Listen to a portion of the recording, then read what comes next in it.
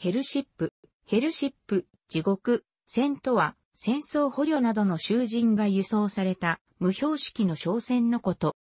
日本においては、主に日本軍が第二次世界大戦中に連合国の捕虜をフィリピンやシンガポールから輸送するために使った船のことを指す。輸送された捕虜たちは日本や台湾、満州国、朝鮮においてハーグリク戦条約6条による労務者として刺激された。ヘルシップ、地獄戦という語は、用語としては、敵国側からの一種のプロパガンダ、あるいは平和時における文芸表現の一種であり、ヘルシップなる選手が存在したわけではない。古くはアメリカ独立戦争期におけるは刑務所として使用され、そのあまりにひどい待遇環境からヘルとあだ名された。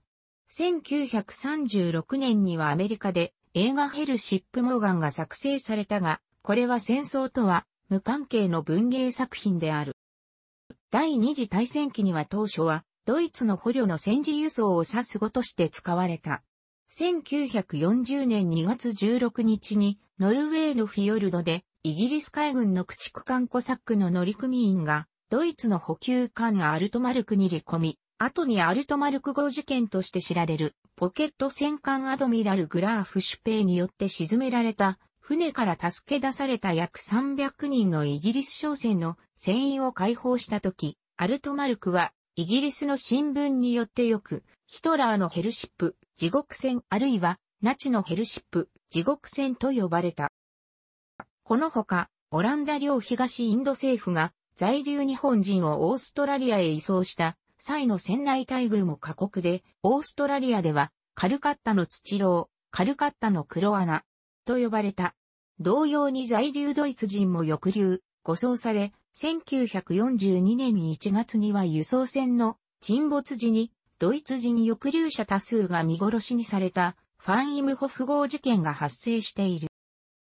東南アジア占領地域からの捕虜の移送は1942年1月から開始され、連合国軍の包囲が進むにつれ東南アジアのシーレーンは連合国潜水艦による無差別雷撃や航空機による空襲、機雷不設などにより阻害されるようになった。日本の輸送用船舶は精進し、捕虜端々は空気や食料、水がほとんどない状態で船内に詰め込まれて、航海を続けるという状況に置かれた。船蔵などに収容された場合は、便所もなく、バケツで代用したが、それすらすぐに埋まって、劣悪な環境となった。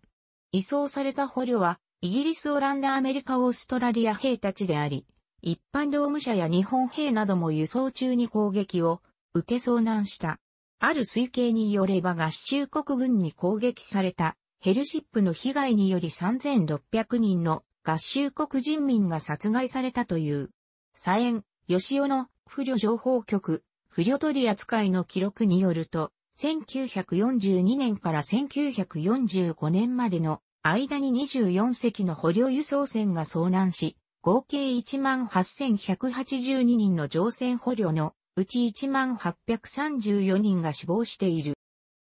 こうした捕虜輸送船には赤十字の標識はされておらず、連合国の潜水艦や航空機の標的となった。多数の捕虜を乗せた状態で遭難した事例としては、非72船団で沈んだ、勝時丸と落葉丸を、じめ、リスボン丸、有山丸、王力丸、河野浦丸、純、高丸などが挙げられる。被害の特に大きな例として、捕虜約1400人と労務者、約4200人を移送中に撃沈された、純、高丸では非人船員69人を含む5689人が戦死したほか、捕虜だけに限ると、有山丸で乗船捕虜1781人、もしくは1782人のほとんどが死亡している。もっとも、輸送時の厳しい船内環境は、日本軍が自軍の将兵を輸送する場合と同じであり、戦時徴用された一般労務者や移送中の日本兵たちにとっても、ヘルシップであることに違いはなかった。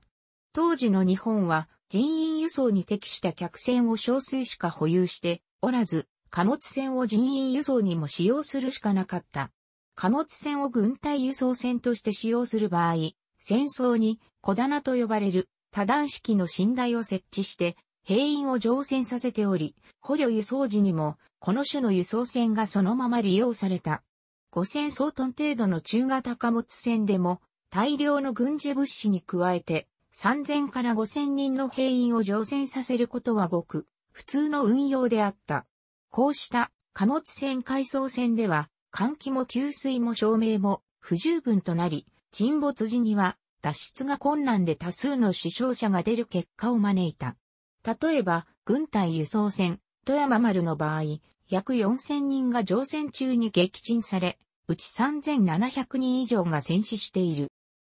従軍中に、そのような輸送船に乗らされた山本七平は、話に聞くアウシュビッツ強制収容所と同じくらい、劣悪な環境、死へのベルトコンベアと呼んでいた。1944年8月27日から9月8日にかけてマニラから日本へ捕虜1060名を輸送したノトマルの場合、マモレーに船団、護送部隊は100名ほどであり、沈没時には日本軍兵員、乗組員より捕虜の方が数的、優という事態になる。そこで、米潜水艦の来撃を受けて沈没する場合には、ハッチを閉めて沈めてしまうという密約があった。ただし、午前、午後の2回に分けて捕虜全員を上甲板に出し、水浴びをさせるという対応も行っている。昼食は毎日カレーライスであった。楽しくご覧になりましたら、購読と良いです。クリックしてください。